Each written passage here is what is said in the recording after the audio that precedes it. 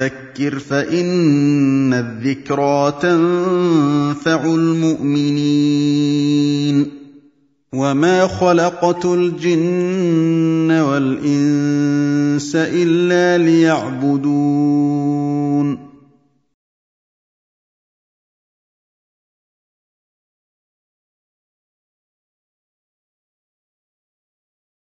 الحمد لله وكفى سلام على عباده الذين اصطفى. أما بعد. Le hadith de Anas ibn Malik, radiallahu par l'imam al-Bukhari et Muslim, il rapporte que le prophète sallallahu alayhi wa sallam a dit que personne d'entre vous n'espère la mort en raison d'un mal dont il souffre. Si sa situation est telle qu'il pense que la mort est préférable, qu'il dise « Oh Allah, fais-moi vivre aussi longtemps que la vie est un bien pour moi et fais-moi mourir dès lors que la mort est préférable pour moi. » Dans ce hadith, le prophète Muhammad sallallahu wa nous interdit d'espérer la mort en raison d'un mal qui nous a touchés. Un mal physique, moral, une déception, peu importe. Une maladie, une pauvreté, une peur, une affliction, n'importe quel mal. Car espérer la mort, c'est néfaste et c'est contraire à ce qui est demandé aux musulmans ça ouvre la porte aux lamentations, au fait de se plaindre face au mal dont le serviteur souffre. Or, le musulman, il est dans l'obligation normalement de patienter face aux difficultés, n'est-ce pas? Et d'adorer Allah subhanahu wa ta'ala aussi longtemps qu'il est en vie. Espérer la mort, c'est en contradiction totale avec cet ordre-là. C'est contraire à la patience. Combien de versets sont venus parler de la valeur des patients Allah a dit dans le sens des versets, seuls les patients recevront leur récompense sans compter. Dans Surat al-Baqarah, nous allons certes vous éprouver un temps soit peu, avec un temps soit peu de peur, de famine et de diminution des biens et des personnes et des récoltes. Annonce donc la bonne nouvelle aux patients. Ceux qui, quand ils sont touchés par un malheur, disent nous appartenons à Allah et certes, c'est à lui que se fera notre retour. Voilà ceux qui ont les louanges de leur Seigneur et sa miséricorde, voilà ceux qui sont bien guidés. Donc, on voit dans ce verset le contraire du cas de cette personne qui est touchée par un malheur et qui désire la mort. Qu'est-ce qu'il a enjoint? Annonce la bonne nouvelle aux patients. Et la patience sobre, c'est le fait de retenir son âme dans l'ordre d'Allah face aux interdits, face aux difficultés de la vie. Qu'elle soit stable et constante dans l'obéissance d'Allah subhanahu wa ta'ala, dans ces moments-là. En ne disant pas ce qui déplaît à Allah, et en ne pensant pas avec son cœur ce qui déplaît à Allah, et en ne faisant pas avec ses membres ce qui déplaît à Allah.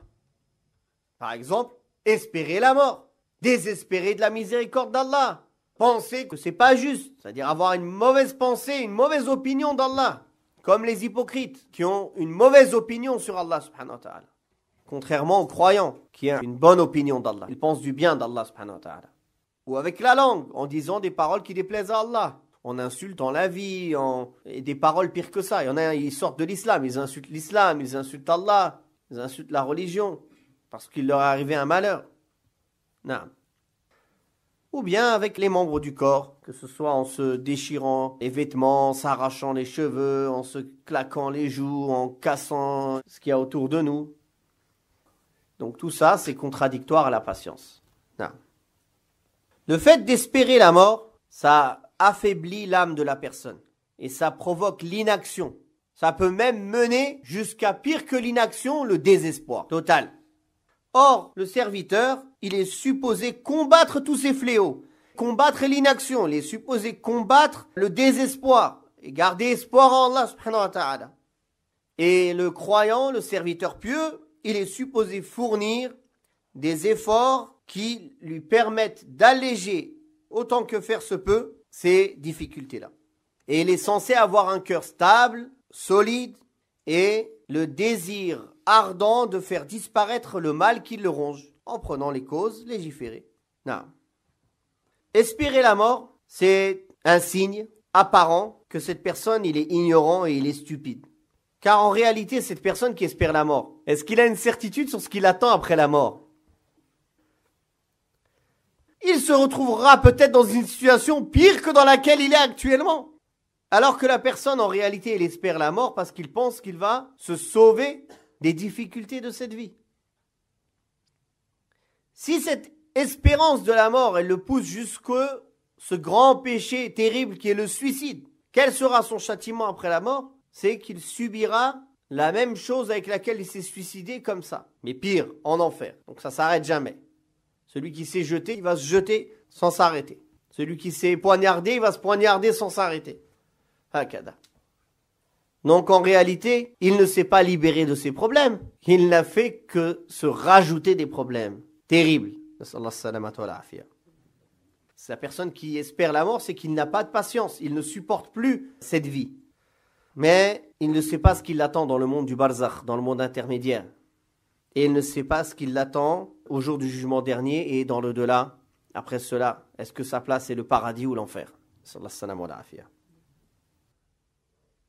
Le fait d'espérer la mort, c'est aussi un moyen de mettre terme à ses bonnes actions. Alors que la meilleure des personnes, c'est celui qui a eu la vie la plus longue et la plus pieuse dans la piété. C'est pour cela que invoquer pour quelqu'un qu'Allah t'allonge la vie, ce n'est pas une invocation complète. Parce qu'une vie longue, ça peut être bénéfique comme nocif. Mais on dit qu'Allah t'allonge ta vie dans les bonnes actions ou dans le bien. Ou alors encore mieux que ça, qu'Allah t'allonge ta vie et qu'il t'arrange tes œuvres. C'est-à-dire, plus ça va, plus tes œuvres sont mieux. Effectivement, celui qui a eu la vie la plus longue, avec des œuvres bonnes, c'est celui qui a les plus hauts degrés. Car il a eu le temps de faire plus de bonnes œuvres que celui qui a eu une vie courte dans les bonnes œuvres. Non. Le jour du jugement dernier, quelqu'un espérerait revenir ne serait-ce qu'un instant pour faire une œuvre en plus. Un instant. Alors comment la personne, il espère se priver lui-même, parce qu'il ne peut pas se priver lui-même en réalité, mais il espère se priver lui-même de ce bienfait qui est de pouvoir rajouter des bonnes œuvres, se repentir de ses péchés pour lesquels il ne s'est pas encore repenti, faire le bien, travailler pour l'islam, augmenter en science, augmenter en action, etc. Cet ordre du prophète sallallahu alayhi wa sallam de patienter face au mal, il est bien sûr d'ordre général, mais le prophète sallallahu alayhi a émis une exception c'est-à-dire quand la personne vraiment, il est éprouvé dans sa religion, il a peur pour sa religion. C'est pas à cause d'un malheur qu'il l'a touché dans la vie temporelle, mais il a peur pour sa religion, d'être tenté dans sa religion. Alors, il dit, Ya Allah, fais-moi vivre tant que la vie est préférable pour moi. Et Ya Allah, fais-moi mourir si la mort est préférable pour moi. C'est-à-dire qu'il attache cela à la science d'Allah. Car le futur, seul Allah le connaît. Quand il a l'impression que le fait de vivre, ça va être dangereux pour sa religion et qu'il risque de perdre sa religion ou d'être en danger dans sa religion, il lui est permis, dans ce cas-là, de demander cela. C'est le maximum. Donc il laisse Allah wa ta'ala choisir pour lui, car il ne peut pas lui-même connaître son intérêt et son avenir, ou est-ce qu'il va pouvoir faire des meilleures œuvres ou non, ou est-ce qu'il va finir mieux ou moins bien que l'état dans lequel il est actuellement? Ceci ne veut pas dire qu'il est permis d'invoquer Allah ta'ala par si tu veux. Dans les autres invocations, on ne dit pas Ya Allah, pardonne-moi si tu veux. Le prophète nous a interdit d'invoquer Allah en ces termes. On dit Ya Allah, pardonne-moi. Ya Allah, donne-moi le paradis. On ne dit pas si tu veux. Ici, on a dit si tu sais. C'est-à-dire, on a conditionné cela à la connaissance d'Allah, car c'est une chose que l'on ne maîtrise pas, qu'on ne connaît pas. Alors que demander le pardon, il faut le demander d'une manière ferme. Personne ne peut forcer Allah. Donc on ne dit pas si tu veux.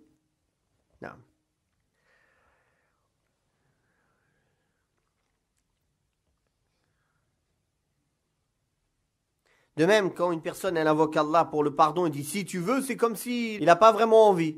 Si tu veux, tu me pardonnes. Si tu veux, tu me pardonnes pas. Ma'alish. Non. Tu as besoin du pardon d'Allah. Il faut insister. Non. Il y a certains savants qui ont dit qu'il est permis d'espérer la mort quand on craint d'être éprouvé au-dessus de ses forces. Et ils ont dit, quand Mariam, elle était euh, en train d'accoucher, elle a dit, malheur à moi si j'étais morte avant cela, tellement c'était douloureux. Aussi, Yusuf alayhi salam, il a dit à Allah dans le sens des versets, Tu es mon protecteur dans ce bas monde et dans l'au-delà, fais-moi mourir musulman et fais-moi rejoindre les hommes pieux.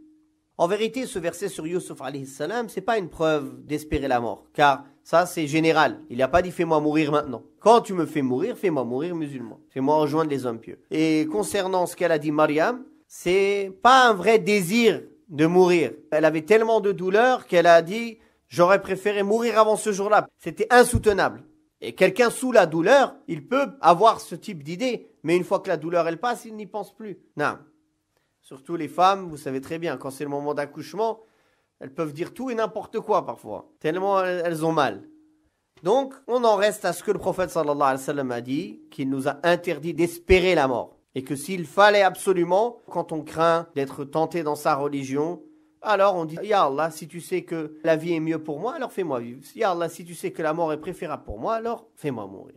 Non.